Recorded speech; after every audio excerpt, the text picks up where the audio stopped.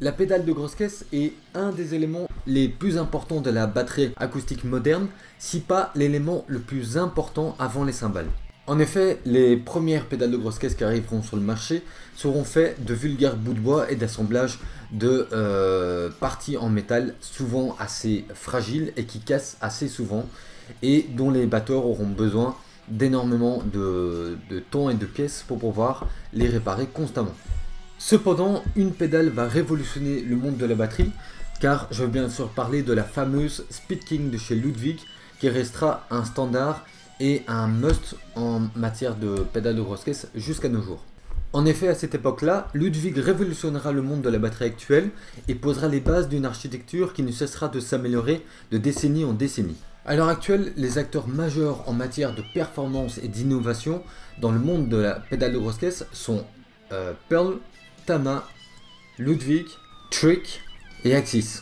Alors la pédale de grosse caisse se compose de plusieurs éléments. On a premièrement la semelle, on a la batte, la potence, le système de direction qui est ici à chaîne et donc j'expliquerai les différentes variations juste après.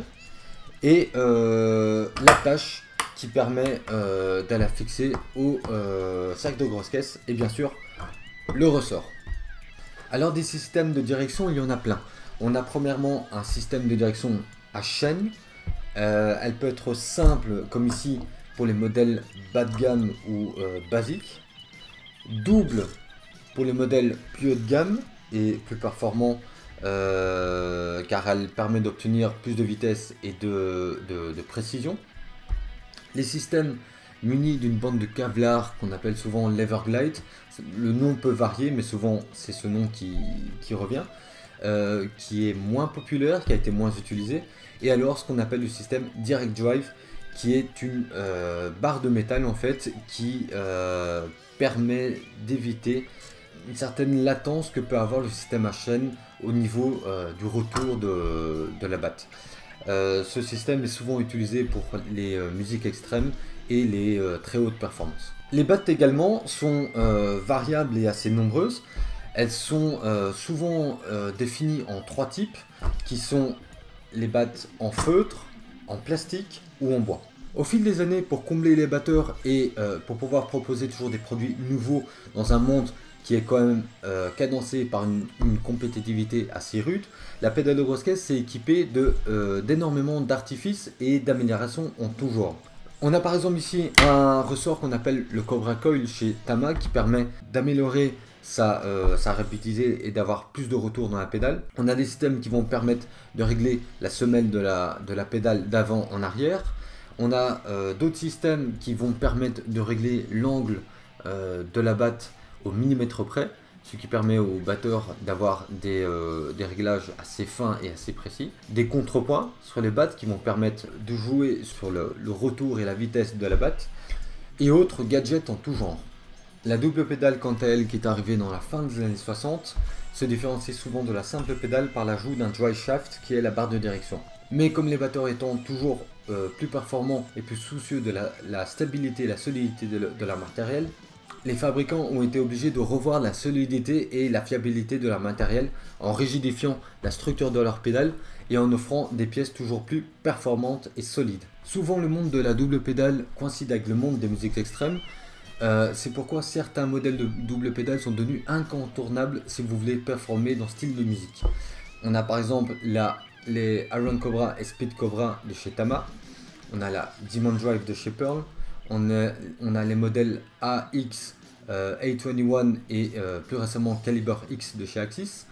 On a les modèles Pro 1V Bigfoot Dominator de chez euh, Trick. Et bien sûr, on a la fameuse Chalsey Copito.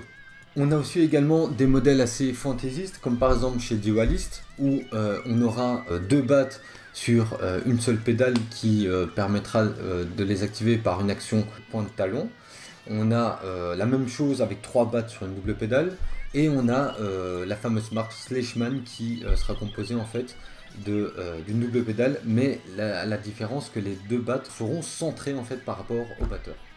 Je ne veux pas non plus faire l'impasse sur les célèbres Ratio que sont des pédales de qui ont été ressorties par des grandes marques car elles ont fait partie en tout cas participer à leur renommée, comme par exemple la Speed King qui a été sortie deux fois, la première dans la version originale et la deuxième dans une version plus simplifiée.